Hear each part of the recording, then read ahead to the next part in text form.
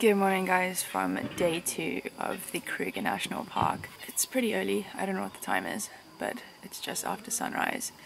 The temperature is already pretty toasty outside. We're about to go for a morning game drive and do some other fun excursions and activities that may or may not involve darting a rhino or elephant. And then later Cameron is joining me. He's flying in from a place called Port Elizabeth and he's gonna help me shoot and take photos and whatnot. So yeah, should be an exciting day. But let's go for that game drive.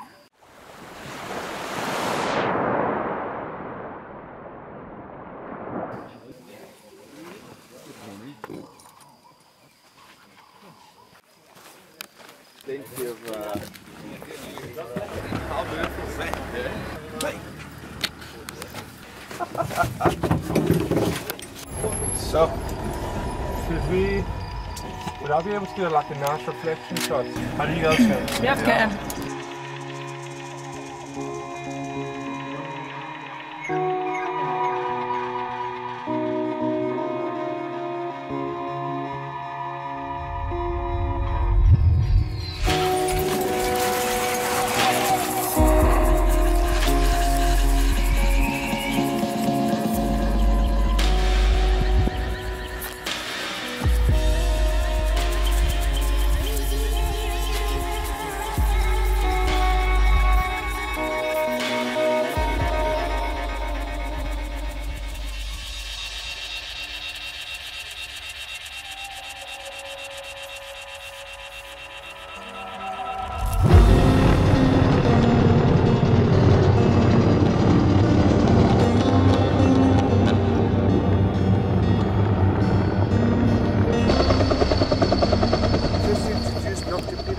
Head veterinarian in Kruger Park. So let me just briefly explain what we have to do today. Uh, there's a, a rhino that has got uh, collars on it, and one of the, the collars has uh, stopped working.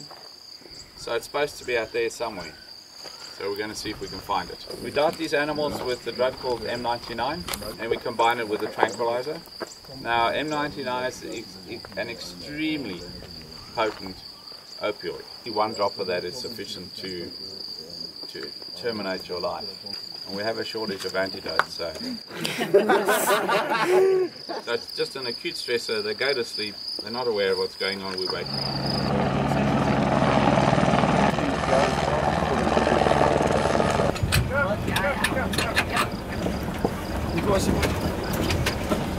What is it, John? A rhino or Ellie? It's a, a black rhino, hopefully. Okay. Uh,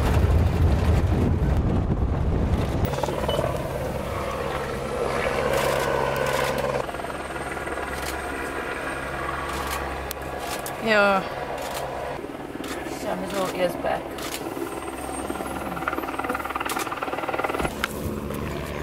Okay, so they've darted the rhino and um, the chopper herded it towards the road so that the team can do all the necessary procedures. So we're going to go investigate.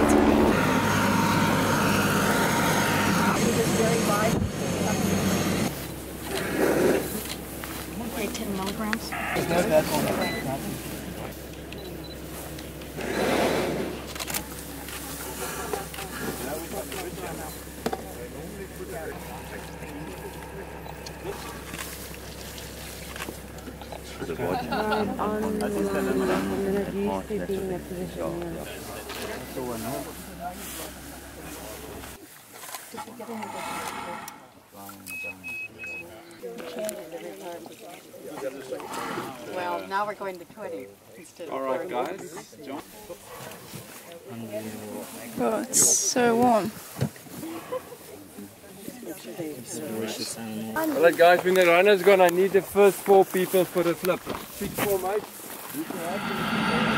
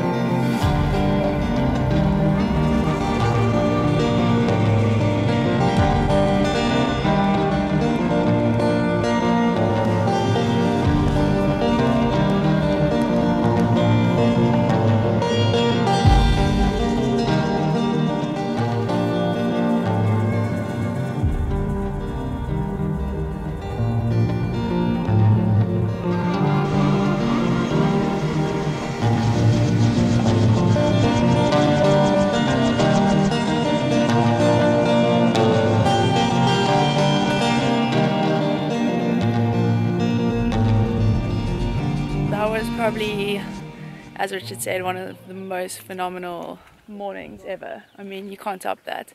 Literally, we got to see the Rangers dart a rhino. Um, and that also wasn't just for our entertainment, that was them putting a new tracker on, which helps them monitor the whole rhino poaching crisis. Incredible.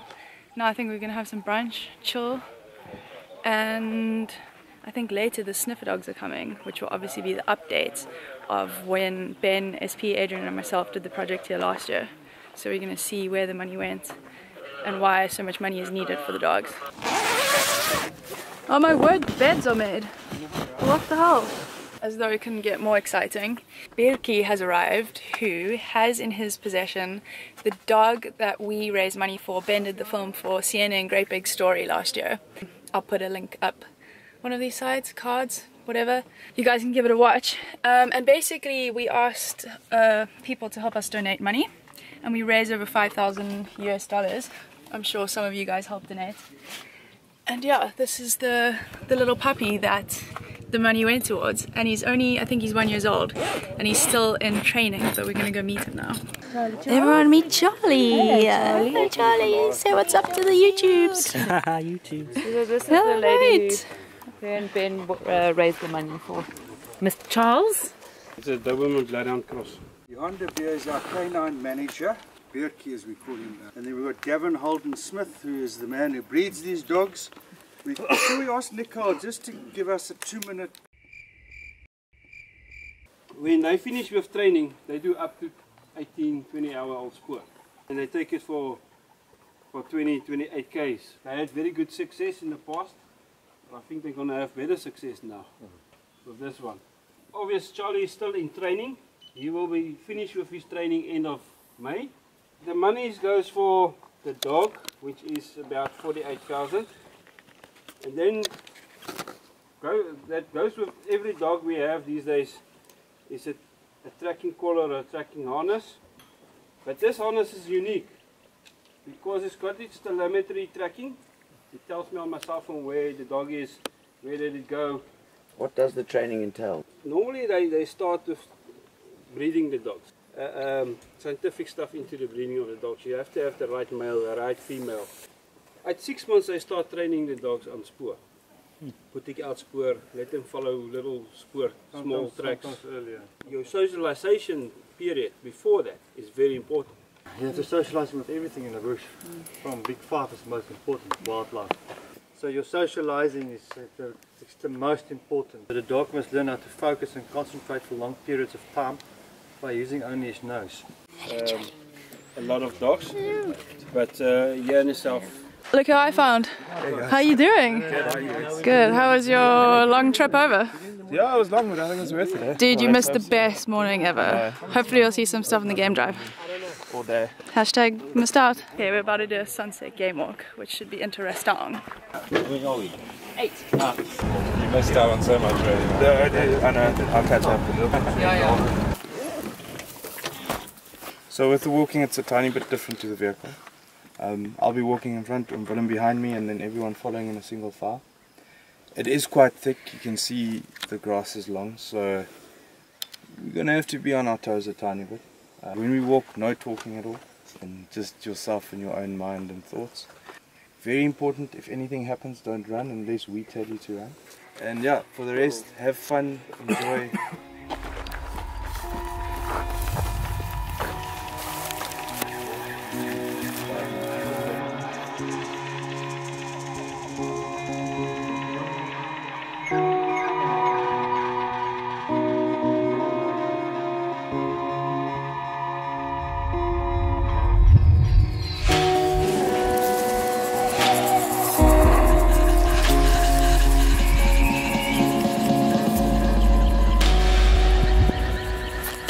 What was it? Buffalo bull, sorry. Everyone alright? Got the adrenaline pumping? Yeah, well, if he came, you know, he could have come straight towards us. That's why I loaded. When he stood up, that's why I loaded. Yeah. Because if he comes, he's going to come for prison.